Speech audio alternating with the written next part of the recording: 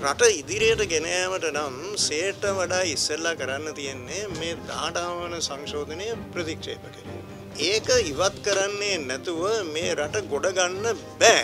තාමත් තදබල විවේචන දානාවන සංශෝධනයට විරුද්ධව ඉදිරිපත් කරනවා වෙන කවුරුත් නෙවෙයි මේ රටේ විදායක ජනාධිපති මෛත්‍රපාල සිරිසේන ජනාතුමා.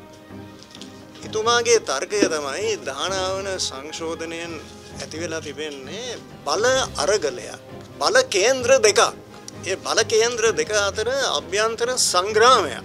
මේ යුද්ධය මැද්දේ රට කරාගෙන යට.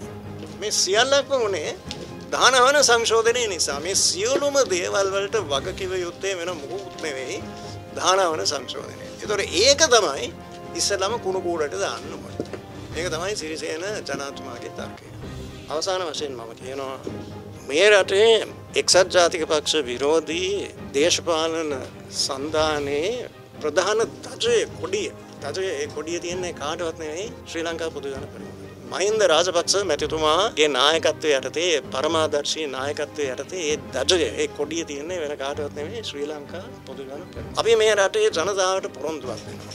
මේ මැතිවරණ එකින් එක කල් දාලා ජනතා මතයට බයේ ජනතා මතයට පටහැනිව දේශපාලන බලයේ එල්ලී සිටීමේ මේ නින්දිත ප්‍රයත්නය අපි අවසාන තිත තියෙනවා. මේ රටේ ජනතාවගේ ඡන්ද අයිතිය ජනතාවගේ පරමාධිපත්‍යය සර්වජන ඡන්ද බලය වෙනුවෙන් අපි දිවීමෙන් පෙනී සිටිනවා. පළාත් සභා මැතිවරණ කල් දැම්මා පළාත් පාලන ආයතන මැතිවරණ කල් දැම්මා ජනාධිපතිවරණය දවසක්වත් කල් දාන්න අපි ඉඩ තියන්නේ නැහැ කියලා වගකීමෙන් යුක්තව මම ප්‍රකාශයක් කරනවා. මහින්ද රාජපක්ෂ මැතිතුමාගේ නායකත්වය නායකත්වයේ යටතේ අපි අපේ පක්ෂයේ ඒ ජනතා ඒ ඒ ප්‍රමුඛ අයිතිවාසිකම අපි සුරක්ෂිත කරලා දෙනවා. එතකොට මේ රටේ ආණ්ඩුක්‍රම ව්‍යවස්ථාවේ යටතේ සෙප්ටෙම්බර් 7 වෙනිදාට පස්සේ මේ ජනාධිපතිවරණය ප්‍රකාශයට පත් කරන්න ඕනේ. ජනාධිපති අපේ මැතිවරණ කොමිෂන් සභාව සෙප්ටෙම්බර් 7 වෙනිදාට පස්සේ මේක ප්‍රකාශයට පත් කරන්න ඕනේ. ඔක්තෝබර් 10 වෙනිදාට පස්සේ නාම යෝජනා පත්‍ර කැඳවන්න ඕනේ. නොවැම්බර් අවසාන සතියේ හෝ ඩිසෙම්බර් ප්‍රථම සතියේ මේ ජනාධිපතිවරණය පවත්වන්න ඕනේ.